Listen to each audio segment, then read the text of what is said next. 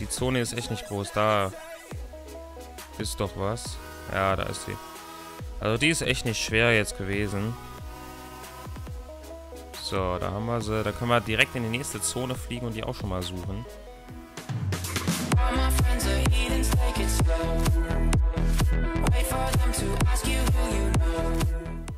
Hallo und herzlich willkommen zurück zu meinem Let's Play Forza Horizon 3 auf dem PC Folge 46. Eine ganz besondere Folge, versteht sich natürlich. ähm, ja, es ist viel Zeit für mich vergangen seit der letzten Aufnahmesession. Ich spiele jetzt auch mit meinem neuen Audio-Setup, wie man hier sehen kann. Oder hier. Ja, ähm, wir machen weiter. Wir sind, denke ich mal, wir waren letztes Mal bei ähm, Blizzard Mountain beschäftigt. Allerdings habe ich ein paar Minuten im freien Spiel verbracht, um mir die neuen Autos hier anzuschauen. Ja, es gibt noch so viele Autos, die wir noch nicht ähm, gefahren sind in meiner Garage. Ja, ähm, aber es gibt genauso viele Autos, die wir noch nicht gekauft haben. Wie viel Geld haben wir? 308.000. Hm, ja. Ich würde ja wahnsinnig gerne den hier haben. Das ist ja kein Ding. Problem ist, er kostet 2,2 Millionen.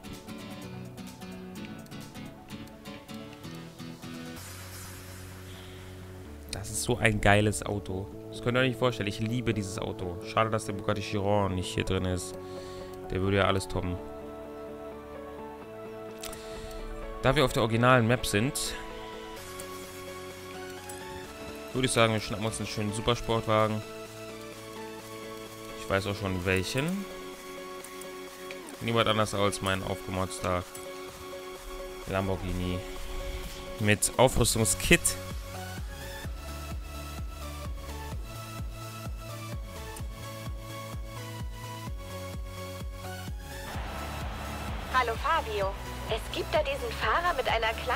kleinen Fangemeinde. Würde sich ganz gut in deiner Aufstellung machen, oder? Willkommen zurück, Fabio. Sie hatten eine Meisterschaft schon zum Teil absolviert. Soll ich eine Route zum nächsten Rennen berechnen? Ich würde gleich mal sagen, ja. Boah, ja. Krass, ja, dann sollten wir vielleicht die Meisterschaft mal zu Ende machen, würde ich sogar sagen. Wir haben ja so krass viel hier auch noch zu tun. Hm, zwei Scheunenfunde, vielleicht fahre ich da aber mal vorbei. Kostet mich aber die ganze Folge.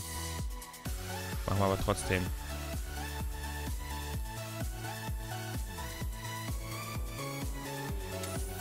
Machen wir erstmal. Weiter natürlich viel Spaß mit dem Let's Play. Wenn euch das Ganze gefällt, würde ich mich natürlich über eine positive Bewertung freuen. Und abonniert meinen Kanal, um in Zukunft nichts mehr zu verpassen. Ich würde direkt sagen, es geht weiter.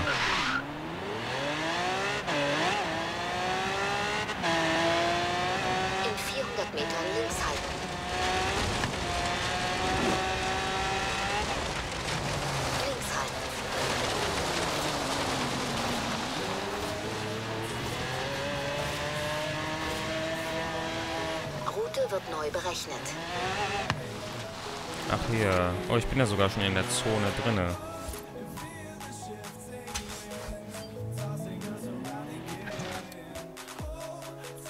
Jetzt sechs Punkte. Ey. Wir müssen oh ja was machen.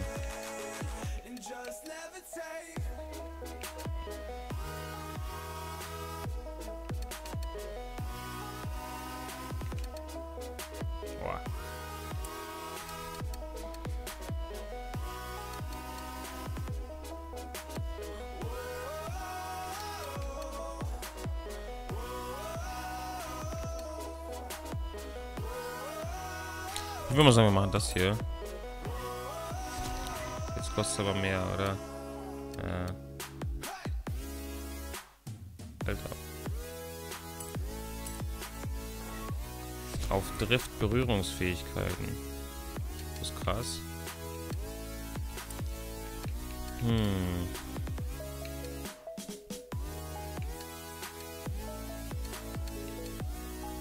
XP.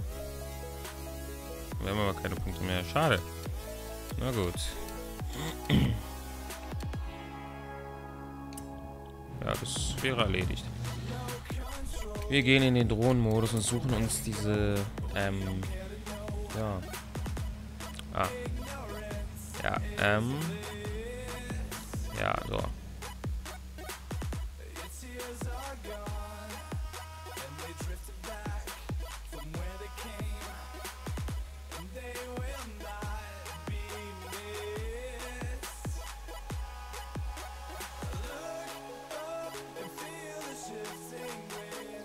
Überschneiden sich ja sogar, diese Zone.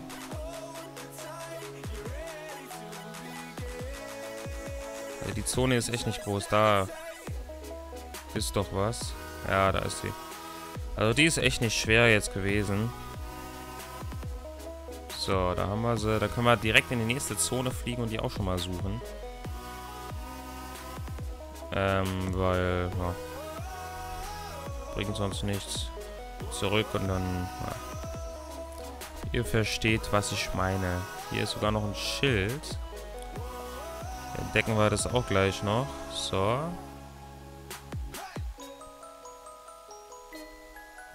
Okay. Dann suchen wir das jetzt uns mal raus.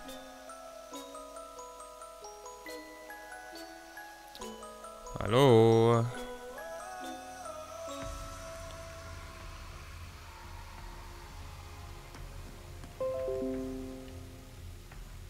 Freut mich, Kaspersky.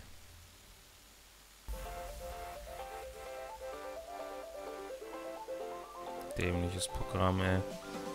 Nichts als stressen. Alter. Hier ist das Ding nicht. Das war ein EP-Schild. Ziemlich gutes sogar. Hier bin ich ja überall noch nicht gewesen.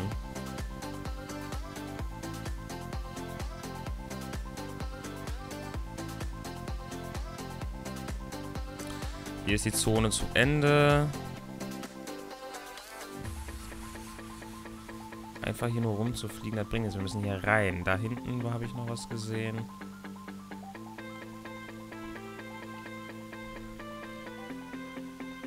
Heftig, diese Zone ist riesig. Und hier sind wir überall noch nicht gewesen. Hier haben wir erstmal noch ein EP-Schild. Da hinten ist ja die andere Scheune.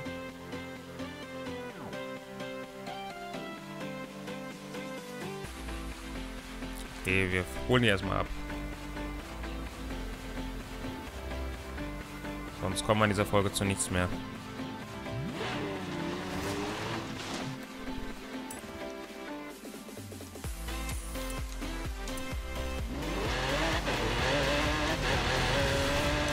In 200 Metern rechts halten.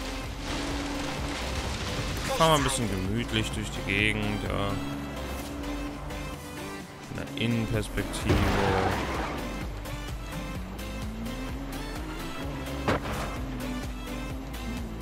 Kann man auch mal machen, eigentlich, eigentlich mal Innenperspektive, aber halt nicht immer und für Rennen mit einem Controller aus der Innenperspektive da müsste ich schon aufs Lenkrad umsteigen, aber... Hm. Bugatti!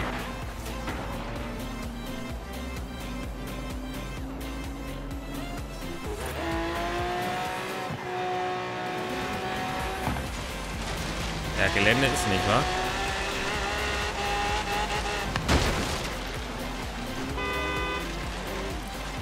So. Bin noch mal gespannt, welches Auto uns dann wieder mal erwartet.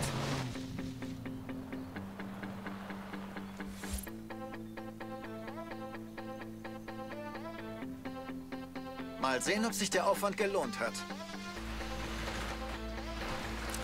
Was ist das denn? Sieht aus wie ein Skyline GTR. Der hier wurde wohl zu hart durch den Schlamm geritten. Die Aufhängung ist hinüber. Nissan. Hm. Von 1973. Ja, Das ist okay. Okay, überlass diese Bestie nur mir. Ich mach sie wieder flott und melde mich dann. Sehr gut. Sie haben ihr Ziel erreicht.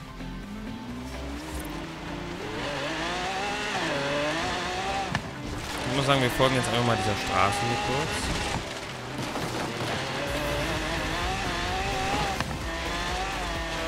Erstmal auch, um sie zu entdecken.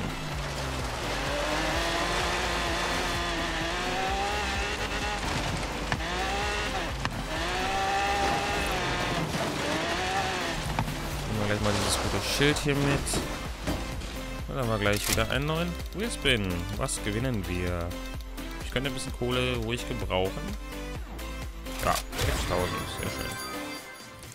Obwohl ich, obwohl der Launcher eigentlich auch gar nicht mal so verkehrt gewesen wäre. Schade. Aber was soll's. So.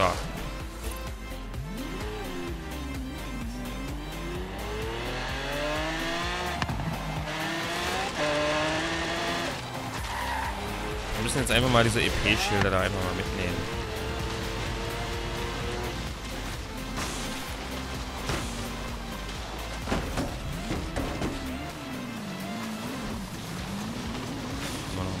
Umgefahrenes Stück Straße.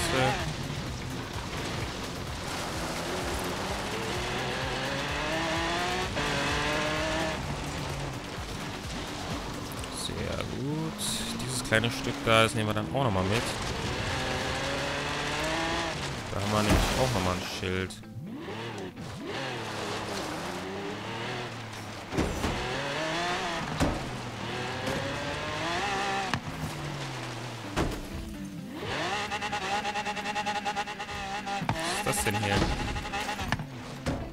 Lol. Ein Bug. Okay. Ja, ähm, was mache ich jetzt? Ich kann jetzt nochmal mich auf die Suche der Scheune begeben, aber, hm. Die scheint nicht leicht zu finden zu sein.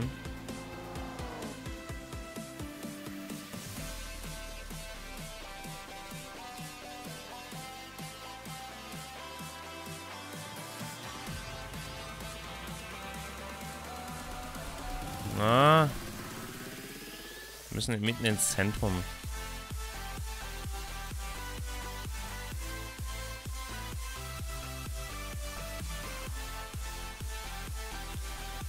Warum kann die Drohne eigentlich nicht höher? Das, das ist unrealistisch irgendwie, aber... Naja, die sind wir überall noch nicht gefahren. Bedeutet eigentlich, die kann sogar mitten einfach hier stehen. Und ich weiß es nicht, weil ich hier noch nie gewesen bin.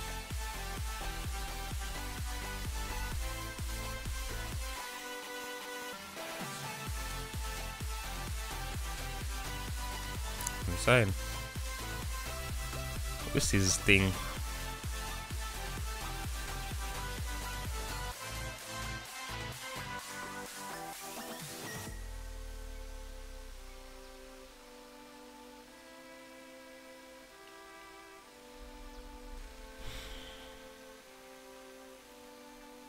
Kann eigentlich noch ewig dauern, ne?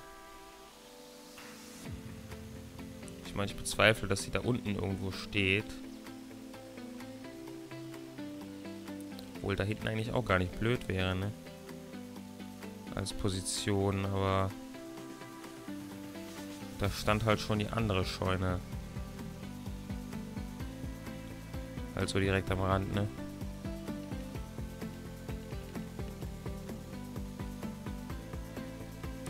Meine, hier stand ja schon die andere Scheune und die war irgendwie komischerweise ähm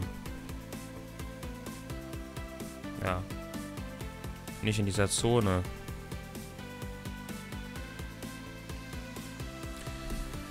Ach, die ganzen Bäume, die nerven irgendwie auch so ein bisschen.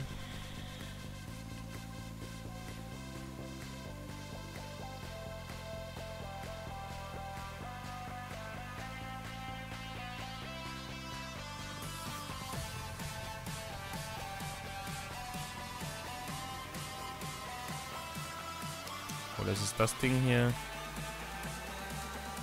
Schade. Wäre aber auch zu schön gewesen. Roller Sixer mit seinem Hennessy, ey, unglaublich. Dass er diesen Wagen gekriegt hat, ey.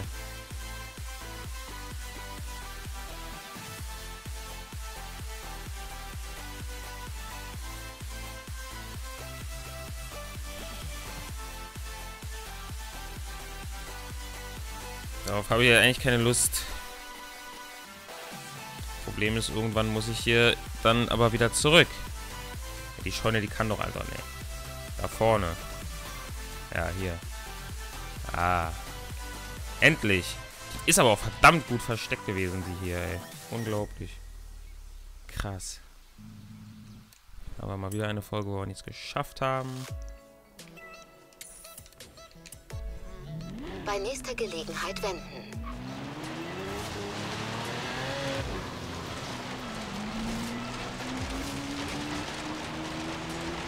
In 400 Metern rechts abbiegen.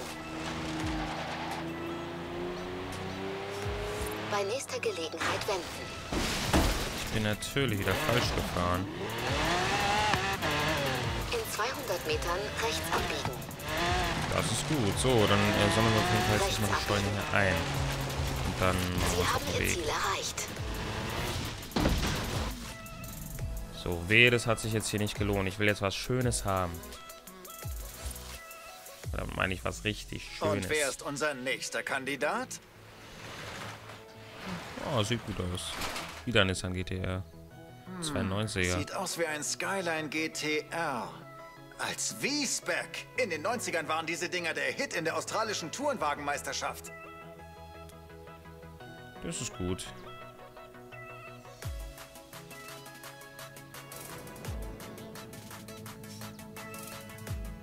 Ich bringe ihn in die Werkstatt und fang gleich an. Komm jederzeit vorbei, wenn du willst.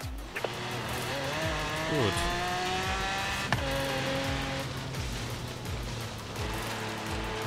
Wir fahren mal eben nochmal die Straße hier ab.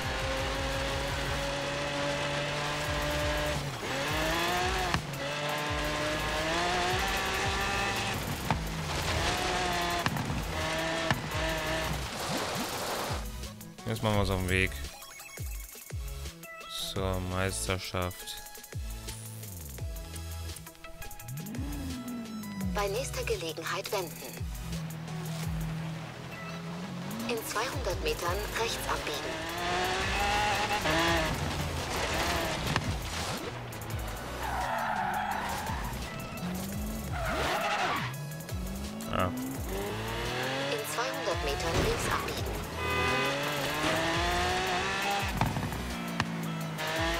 Links abbiegen.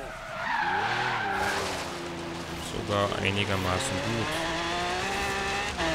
In 400 Metern rechts abbiegen.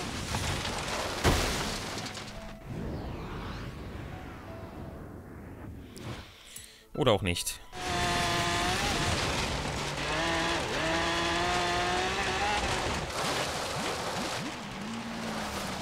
Schon wieder so ein winziges Straßenfleckchen.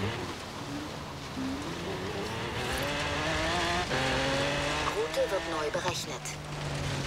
So.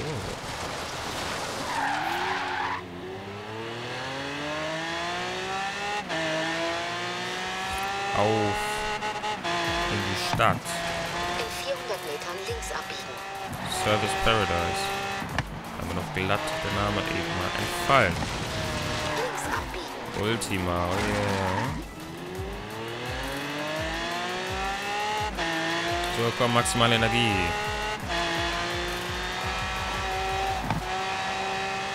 Kommt ja auch mit über 200 auch noch rum, ne? Das ist krass. Wir haben den gar nicht, wir haben den auch nicht so richtig aufgetunt hier. Wir haben nur das Kit dran gemacht, mehr nicht.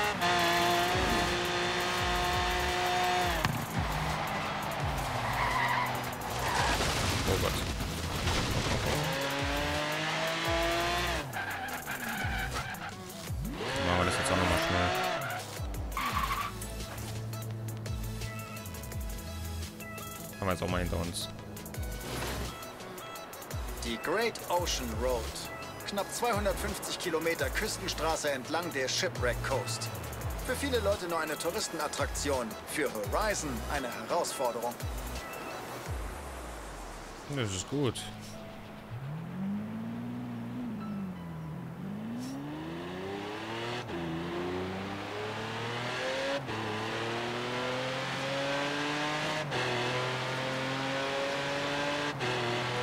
Wie leicht er auch mal auf 170 kommt, ne? Ich drücke ja noch nicht mal Halbgas. Vollgas. Rechts Ist schon noch eine ganz andere Hausnummer, aber fettes Auto. Rechts abbiegen.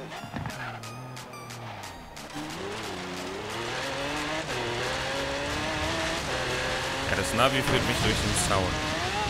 Das ist auch eine sehr schicke Route hier. Ne?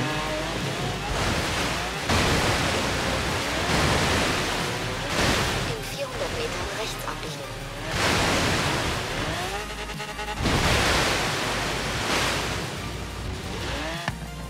In 100 Metern rechts abbiegen.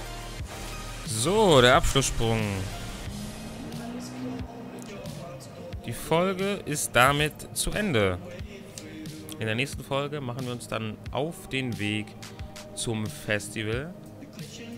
Und dann machen wir die Meisterschaft da endlich auch mal zu Ende und weitere Meisterschaften. Wir fahren wieder rein nächste Folge. Heute war ein bisschen chillen, wieder ein bisschen reinkommen. Ich bedanke mich dann mal wieder ganz herzlich fürs Zuschauen und sage Tschüss und bis zum nächsten Mal.